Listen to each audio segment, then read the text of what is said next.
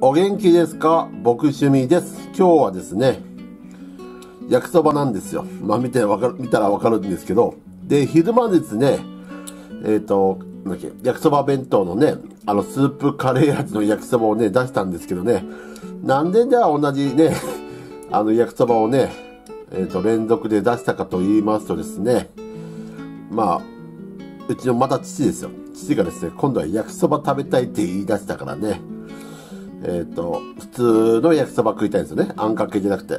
で、作りました。で、またね、えっ、ー、と、別の料理を出すのは、えー、とてもめんどくさいのでね、今日の夕飯はね、また焼きそばでございます。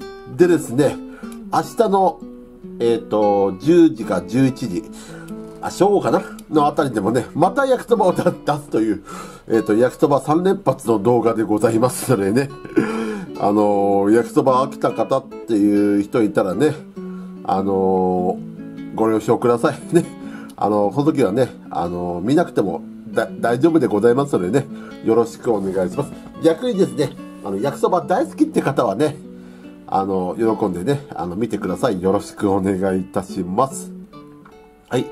で、あとですね、えっ、ー、と、昨日ですね、えっ、ー、と、日本ハムの、えっ、ー、と、開封ね、あの、開封動画出しました。これ2021年度版ですが、あの、2022年度版もね、えー、届き次第ね、あの、出しますのでね、よろしくお願いいたします。で、これぐらいかな、今回は。